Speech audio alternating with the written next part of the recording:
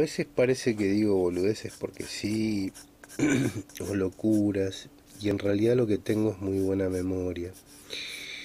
Nunca son boludeces. Por ejemplo, por ejemplo, todos los días están juntos dándose la mano los que con Núñez pactaron la agresión en mi contra elaborada yendo al locutorio Córdoba, donde además un día hicieron una opereta, donde una vez una pareja me quería agredir y la mujer le dijo al tipo, no, cuidado a ver si todavía te termina lastimando la voz. Y lo que yo noté ese día es que los mismos tipos que veían que yo iba a escribir cosas de prensa al locutorio le pidieron a una piba que se me acerque y que ellos después manejaban cuentas de Facebook de las personas que entraban ahí. Y se ve que le mandaron a la madre y al padre no sé qué cosa. Y yo venía señalando esto, porque lo venía discutiendo. Una vez vino un militante acá y le digo, ¿qué hace esa piba pasando, haciendo de cuenta que... Eh, con la madre haciendo de cuenta que, que la conozco si es la primera vez que aparece acá.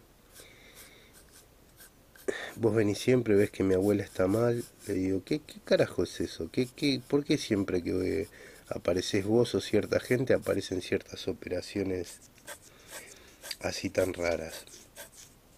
Y estaba ligado a que yo había descubierto que robaban y distribuían audios y que se metían a hacer operaciones en los Facebook dentro de sectores políticos y demás. Entonces, como yo venía hace tiempo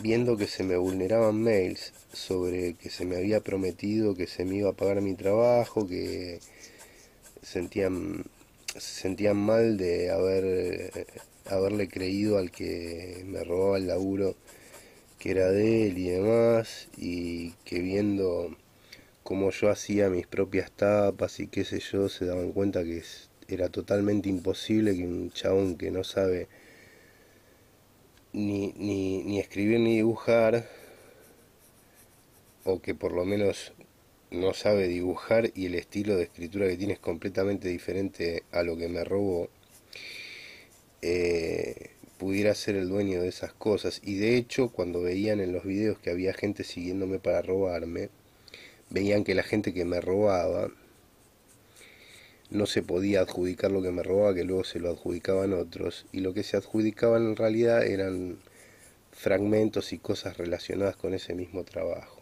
Entonces, como se veía repartido el, el, asunto en, en cuestiones, muchos pensaron que que dije una estupidez cuando dije que había un seguridad junto a la gente de mala fama que tomaba lo, lo del... Yo tenía esa página de blog que se llamaba Mala Fama Insomne, que no es lo mismo. Y, y muchos pensaron que era una estupidez que haciendo otras páginas mucho más grosas yo hiciera esa pero en esa situación quedó demostrado que también al, al, otro locutorio, al de Ecuador, venían a operar un montón de personas. Como la chica que dijo que el pibe ese que vivía en Gallardo le habló pestes de mí. ¿No? Y después ese pibe que estaba casado dijo, al final se arregló solo, ¿viste? Le dijo la esposa. Eh, esas situaciones se prolongaron a través de los años, digamos. O sea, un hecho que pasaba cinco años antes, cinco años luego es comentado. O es más, a veces seis años antes, seis años luego es comentado sobre, sobre una situación. Es como que hay un festejo de haberme hecho emboscadas y, y demás eh, como que se ríen entre sí las personas que coordinaron las diferentes acciones. Entonces, a mí me parece que se perdió de vista en toda, en toda la, la dimensión de, de situaciones, que el lunes ese eh, era contacto de este Marcos. Y cuando hablan de del lugar ese allá, eh, el kiosquero de acá enfrente iba a ese, sitio de Avenida Córdoba, Marcos también y otras personas también, y los que venían para acá, como Lingenti, como tantas personas, dejaron demostrado que hay tres lugares operativos que todos visitaban en este, en este barrio. Y que siempre estuvieron siguiéndome. Como muchas de esas personas que venían a este barrio luego se distribuían en medios de comunicación. Y esos medios de comunicación me acosaron y me censuraron.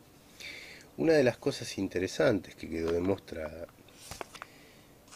es que se olvidaron cuando mi abuela recibió una amenaza de PAMI por teléfono, que ella misma me lo cuenta.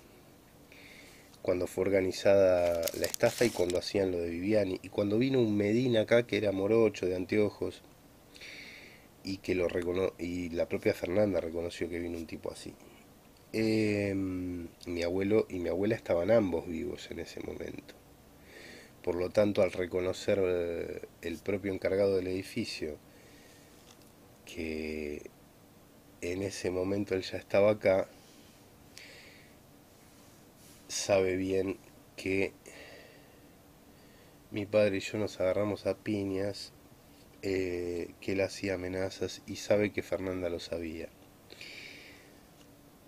La gente que olvidó todo esto ha olvidado el atroz crimen que cometió, porque si escuchaban audios, sabían muy bien entonces que mi abuela vivía diciendo que a ella y a mí nos vivían amenazando cuando ya acá estábamos solamente mi abuela y yo. Por lo tanto, por lo tanto, cuando yo me iba a trabajar y ella dijo que le robaron, la acción de Gabriel de intentar decir que yo no trabajaba está directamente ligada a robarme las revistas que hacía. Y se vio eso expresado cuando la gente de Nuevo Encuentro sabía que eh, un ex compañero mío de colegio militaba en Nuevo Encuentro y me venía a visitar. Y lo que intentaba hacer era aturdirme la cabeza y generar una operación especialmente cuando está el audio donde yo le dije, me parece que si yo eh, voy a la fiesta va a haber violencia porque creo que es una emboscada. Y me parece que deberías avisarle a María Suárez porque ya que no le importó que a mí me intentaron envenenar, por lo menos que le importe si quieren lastimar a otros militantes. Y después de eso fue que balearon el local de nuevo encuentro. Así que, ¿por qué tenían necesidad de robar esos audios? ¿Por qué no nos cuentan? ¿Por qué se llevaron los pendrive? A mí me gustaría que nos cuenten y nos expliquen. Sería interesante. Hay gente que tiene mala memoria porque jamás ha sufrido la desesperación de notar que van a lastimar a personas y que uno intenta evitarlo y que las mismas personas que fueron lastimadas, lejos de tener una actitud de gratitud, ven que a uno lo están queriendo eliminar porque uno notó esas cosas. Y la misma gente que fue defendida por uno y que uno intentó proteger de esas situaciones, se pone del lado de los que pactaron con sus agresores. Y sí, llegó un momento que a uno le da bronca. Pero yo no estoy hablando desde la bronca. Eso es lo interesante. Fíjate cómo me gusta que porteros, kiosqueros, políticos, gente que se creía que hacía prensa y estaba en los medios de comunicación para matar gente nada más, porque claramente lo que han hecho en los medios ha sido operaciones para matar gente. ¡Ay, asesino! Me gusta que se quemen solos.